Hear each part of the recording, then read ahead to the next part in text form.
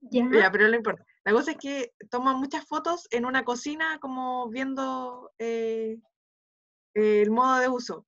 Y en la paleta de colores eh, pongo los colores de la comida, así como que están adentro de la, de la cosa, o, o- o solamente del producto como tal.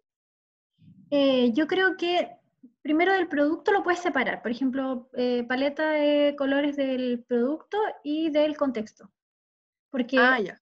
Aunque uno no lo crea, los, los objetos que uno utiliza en la fotografía, por ejemplo, los alimentos, a veces uno intenciona también qué alimentos coloca y qué no.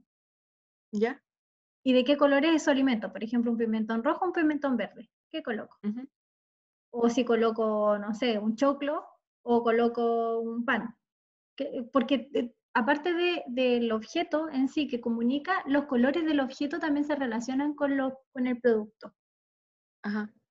Entonces, puedes separarlo, explícalo como tú crees que queda mucho más claro. ¿ya? Ah. ¿Tú crees que lo- los, los objetos que se utilizaron, se utilizaron intencionadamente de ese color para que combinen con tu producto o con tu contexto que está presentando? Lo señalas, ¿ya? Ah, ya, bueno. Ya. Eh, qué bueno que entraron más, que pudieron comprender el mensaje. Se nos cortó la videollamada. Sí. Sí, porque la otra vez nos explicaban algunos profesores que cuando las sesiones, eh, cuando hay muchas sesiones online, hay, una cantidad de licencias que compró la universidad, entonces esas quedan capturadas y los que quedaron fuera se les corta la, comunicación en algún momento. Igual nuestra sesión de hoy día está un poquito más extensa, así que ya la vamos a finalizar. Eh, no sé si tienen pregu- preguntas con la entrega de hoy día. Sí, yo quería consultar si las conclusiones son en general o es por empresa La por conclusión. Ojalá por como por el ítem, por el sitio, por la plataforma, por redes sociales, como, como por análisis y después al final, si quieren hacer una, eh, una conclusión general, como de lo que ustedes observaron en las fotografías, sería ideal, sería perfecto. ¿ya? Profe, y otra consulta, es que eh, yo estoy revisando, por ejemplo, un- ropa en Calvin Klein. Y eh, en esa empresa, la como que es de la, del cuello para abajo. Es como un primer plano americano, pero al revés. Entonces, ¿Es no como sé así? No, no, no, es, Ah, es ropa, es un- exacto, sí, es Mm, como de los hombros, del cuello para abajo. Y no sabía que, como que, No, no, no tiene una clasificación en realidad. Yo pensé que era primer plano americano, o sea, como plano americano al revés, porque como Mm. que cortaba. como, en realidad lo, lo podrías definir como que un plano que no está categorizado, pero sin embargo es como una especie de una parte por el todo, pero no es tampoco una parte por el todo porque es casi todo, menos una parte, entonces como al revés. Mm.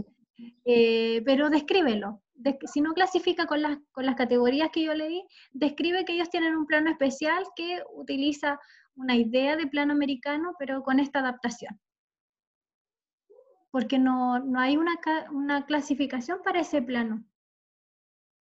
Ya, eso. Ujú. Debe haber una intención ahí de por qué no colocan el rostro. Es que hay solo una foto y no sé, voy a revisar quizá en general la plataforma, Eso, eso te iba a porque por ejemplo, la modelo es afroamericana y yo dije, ya, pero no creo que sea como quizás a todos los modelos le cortan la cara. Y hay Sí. solo uno que es como de contexto, que usa, no sé, ya, polerón y todo, y ahí sale la modelo entera. Pero en toda la otra eh, se concentra casi todo en la parte en donde está el producto, que es un short. Claro, seguramente revisa otros productos y esta lógica se repite.